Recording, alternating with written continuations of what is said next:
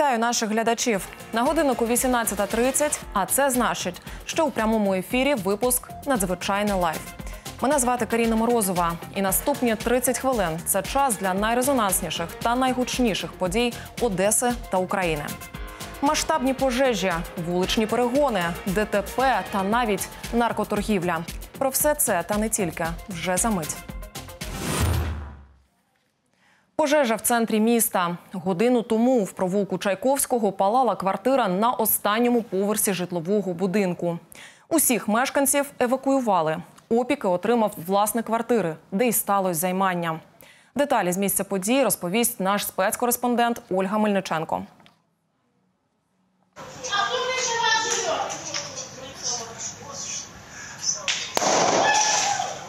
Зараз ми знаходимося у провулку Чайковського. Тут працюють рятувальники. Сталася пожежа на третьому поверсі. Е, відомо, що є один постраждалий власник квартири, саме де сталася пожежа. Його ушпиталили до лікарні з опіками. Детальніше поки що про його стан невідомо. На місці працюють МНСники і всіх мешканців будинку евакуювали через загрозу задимлення. Е, більше постраждалих немає. Е, попередньо відомо, що загоряння сталося лише в одній квартирі. Е, Сусіди почули вибух, який пролунав, і всі мерщі почали спускатися. Біля дверей у житловий будинок зібралися мешканці того самого будинку, але рятувальники їх не впускають, адже ще вони працюють на місці і дуже сильне задимлення у будинку. Сморід просто жахливий. Е, На місці працюють декілька е, автомобілів рятувальників. Е, Відомо також зі слів сусіда, який чув вибух, що у того самого чоловіка у квартирі вибухнув акумулятор. Слышу удар стекол, парень э, выли- вылазит с окна, голый полностью. Квартира у него горит, кричит, им- кричит тип- ну, что у него аккумулятор коротнул, короче.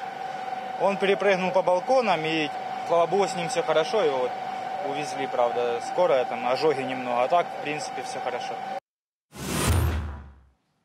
Масштабна пожежа сталася увечір середи на вулиці Бабеля. Понад годину вогнеборці долали стихію. Заважали постійні спалахи від електрики. Займання сталося у нежитлових приміщеннях. Однак вогонь та вода пошкодили й прилеглі помешкання.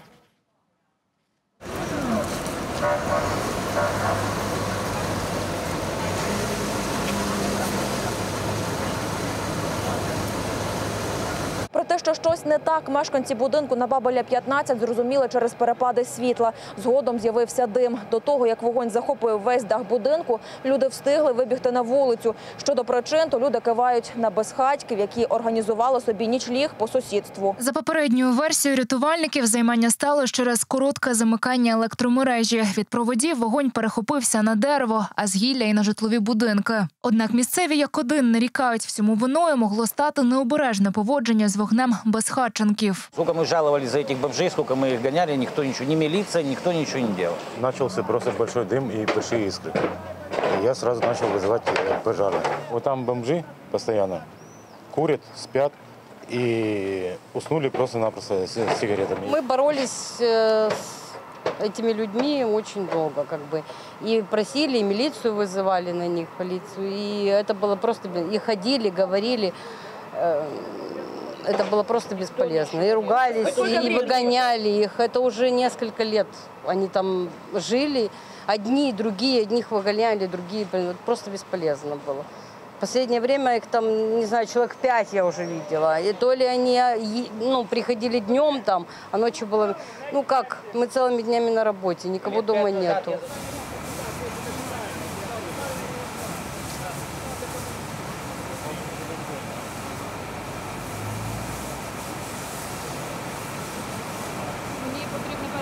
Близько години 18 рятувальників намагаються загасити вогнище, але час від часу дах будинку знову спалахує. Рятувальникам доводилось працювати з безпечної відстані та боротися з вогнем методом переривчастої подачі води через спалахи від коротких замикань. Загрози розповсюдження пожежі на сусідній будівлі не було. Та о 20 годині 53 хвилини пожежу рятувальники ліквідували. Загиблих та постраждалих внаслідок пожежі немає. А от майно мешканців сусідніх будинків, зокрема дах, сильно пошкодило. Офіційно ж причини займання встановлюють. У Києві в одному з житлових будинків сталася пожежа. На момент загоряння у квартирі було лише троє дітей та пес. Найстаршій дитині було лише 12 років. Проте діти організовано покинули приміщення та викликали пожежників. Рятувальники оперативно приїхали на місце та ліквідували пожежу, чим запобігли масштабному полум'ю. Ми сиділи отут, обернулися, а вже горить, коли ці дітки повіскакували на вулиці, почали пожарну візивати, де і все. Пожарну. Там знаходились діти, вони вибігли і почали викликати ж. Так, е, вони викликали, ми викликали, дзвонили, що швидше приїхала, а воно ж минутою гаряче почало стекло лопатися, падати і все. А як швидко приїхала пожежна? Ну, я знаю. Воно бістро приїхали, ось прямо аж сюди навпрямік їхали бістро. Але ж воно все е, гаряче, ти представляєш, як це дуже важко. Що не говорить, це горе, звісно. З собакою теж все добре, так? Це добре. Десь ось воно лежить, дивіться, і воно дівчинка стоїть, ось воно собачка лежить. Все нормально. Але ж хати нема. Чорний дим заполонив вікна одного з балконів багатоповерхівки.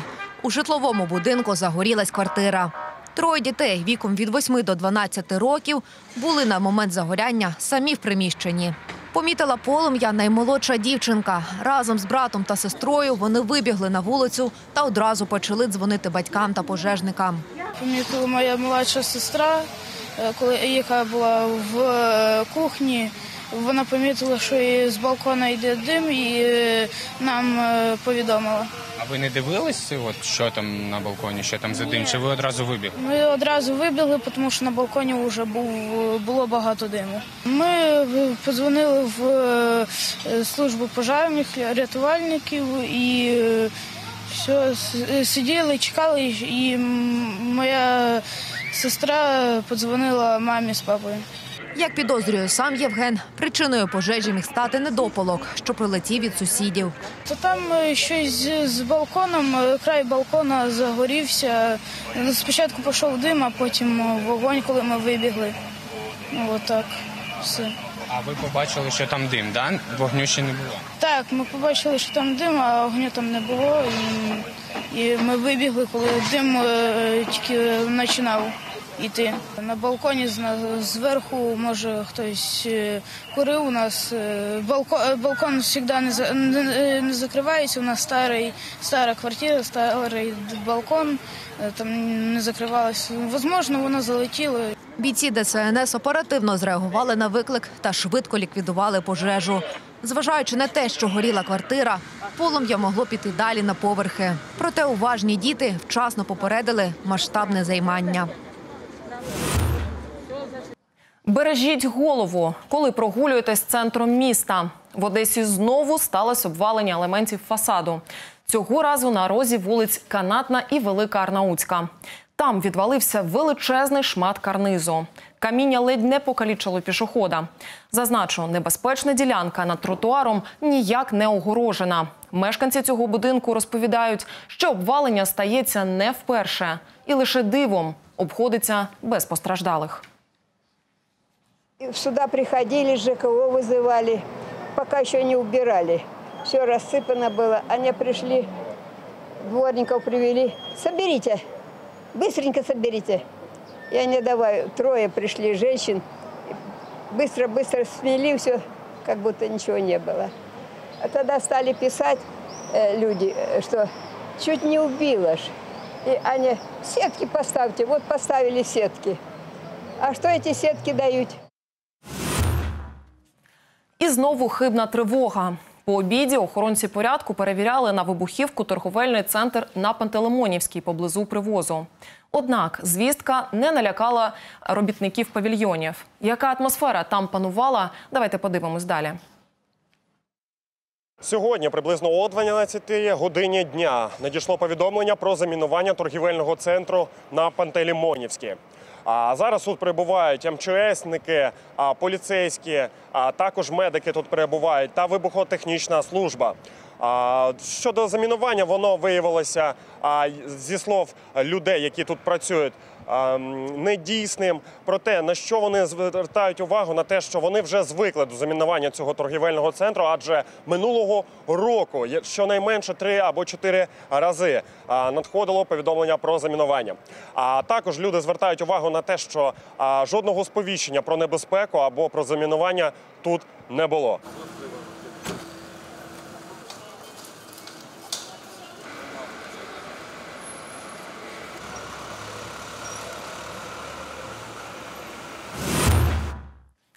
Різанина на Слобідці. Пам'ятаєте історію, коли на вулиці Промисловій хірургу військового шпиталю нанесли 13 ножових поранень?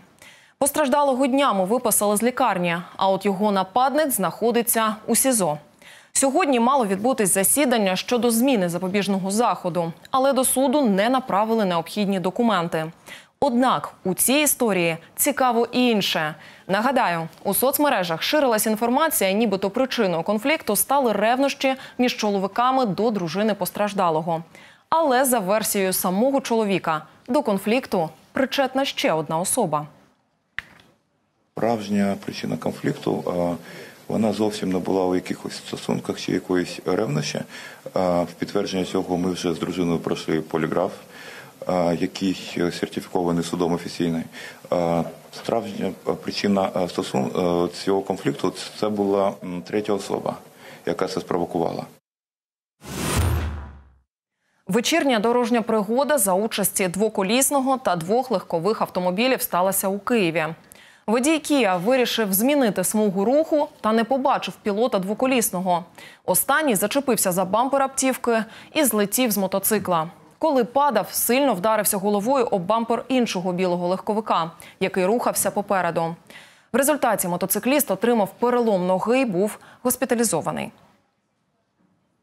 Наскільки ми розуміємо, хотіли, хотіли автомобілі перелаштуватися, був щільний потік і е, е, мотоцикліст їхав, напевно, був в мертвій зоні чи з великою швидкістю, що автомобіліст не побачив. Коли він його побачив, хотів повернутися обратно колесо, і мотоцикліст ногою зачепився за бампер.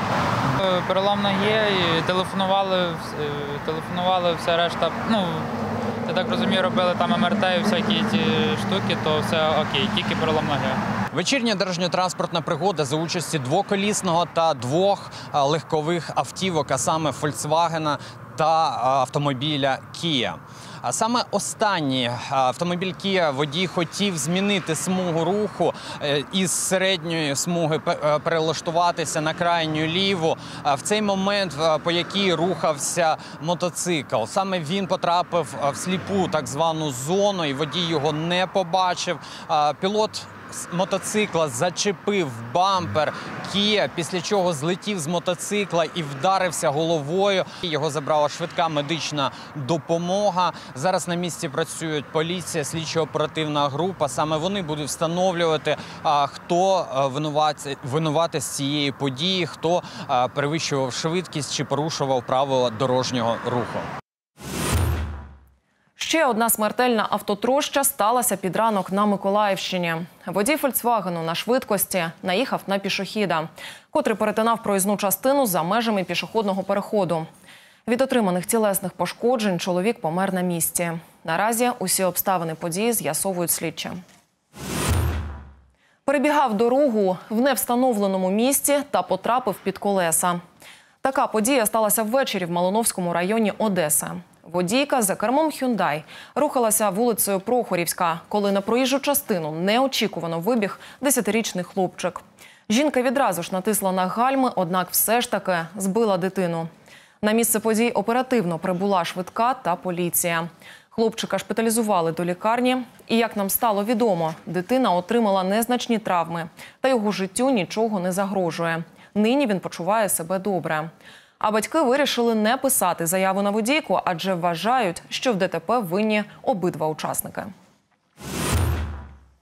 Серйозна ДТП на трасі Київ-Одеса. Двоє людей постраждали. Дорожня подія сталася напередодні близько 15-ї години. На дорозі зіткнулися вантажівка та автомобіль дорожньої служби.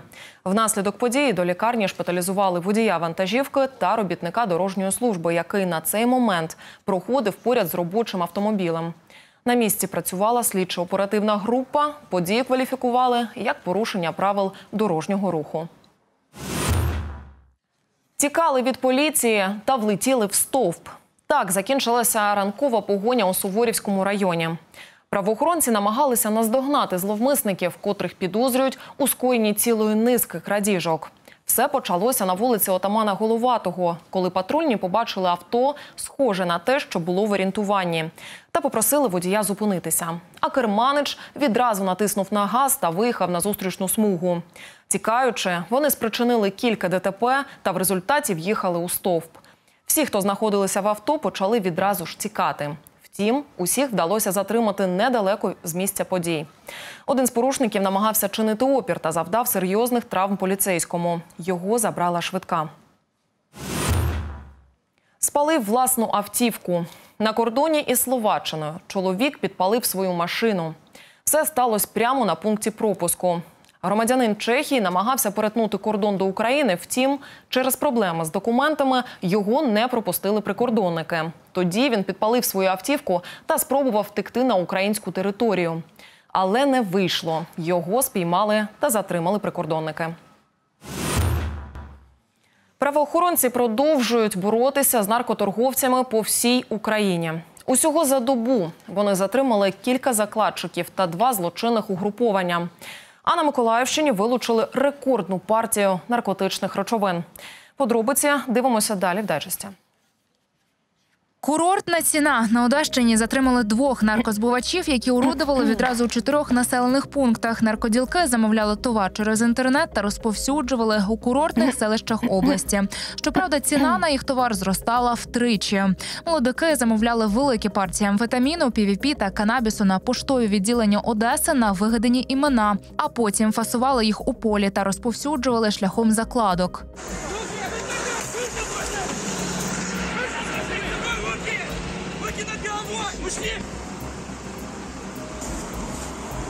Затримали правопорушників на автошляху затока Білгород-Дністровський. В автомобілі, на якому вони пересувалися, правоохоронці виявили розфасований канабіс, PVP, амфетамін та електронні ваги. Того ж дня санкціоновані обшуки були проведені і за місцями мешкання фігурантів, звідки поліцейські вилучили наркотичні засоби, комп'ютерну техніку, банківські картки й телефони. Чоловіки затримані в порядку статті 208 Кримінально-процесуального кодексу України. За даним фактом розпочати кримінальне провадження за частиною 2 статті 307 Кримінального кодексу України. Їм загрожує до 10 років позбавлення волі із конфіскацією майна. Рекордну партію наркотиків вилучили на Миколаївщині. Більше двох тисяч готових закладок, 2 кілограми мефедрону, півіпі, амфетаміну та канабісу на загальну суму понад 3 мільйони гривень. Такий масштабний бізнес налагодили троє місцевих мешканців. Щомісяця кожен окремо заробляв близько 300 тисяч гривень. Вони сортували наркотики на закладки, а після вже партіями розповсюджували їх серед дрібних закладчиків. Ці свою чергу вже доставляли товар споживачам. Наразі фігуранти затримані у порядку статті 208 КПК України. Їм повідомлено про підозру у розповсюдженні наркотичних засобів та психотропних речовин у великих розмірах. За що зловмисники ризикують провести за гратами до 10 років. Посіяла та доглядала на Запоріжжі. 50-річна жінка вирощувала коноплю у подвір'ї власного будинку. Правоохоронці під час обшуку виявили близько 70 коштів забороненої рослини, які мали явні ознаки культивації та поливу. Усі наркопосіви були знищені. а Господині тепер загрожує до 7 років ув'язнення.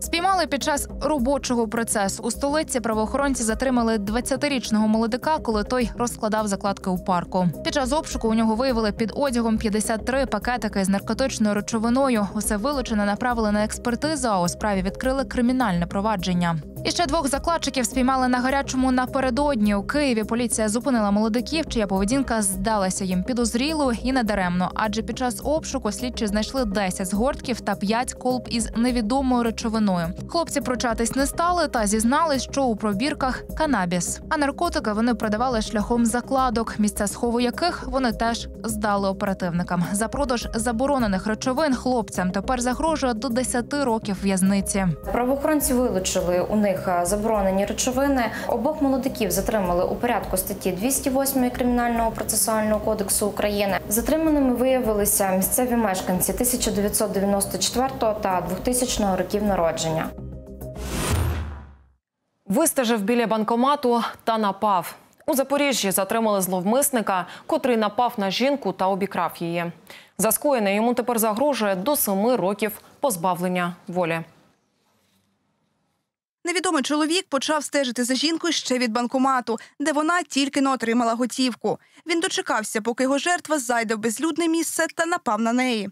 Зловмисник признув жінці в обличчя газовим балончиком, збив її з ніг, а після вирвав сумку та кинувся тікати. Він так стрімко намагався зникнути з місця злочину, що загубив кросівок. Його схованкою став під'їзд однієї з багатоповерхівок. Втім, вона виявилась не досить вдалою.